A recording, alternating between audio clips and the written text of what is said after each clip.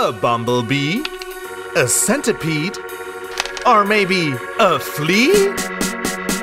A bumblebee came out, it looked so very cute. Mom didn't want to fry it, so she had to wait.